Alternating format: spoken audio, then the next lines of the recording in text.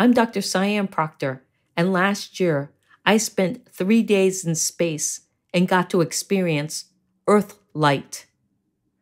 I thought the moonlight was my guiding light until that day when my soul shimmered, eyes wide and dilated with realization, for there I was, being bathed in earth light.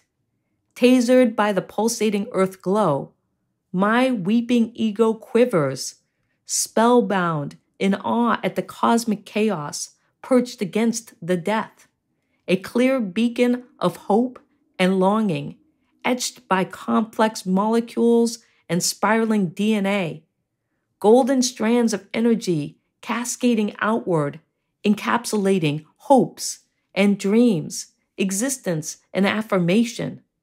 The baby's blanket ripped away. I howl at the sensation. Love struck in suspension.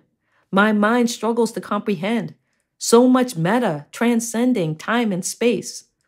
Who will hear the cries of the generations? Afro Gaia simmers under the weight of memories.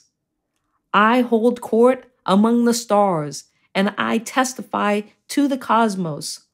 All our hopes set adrift.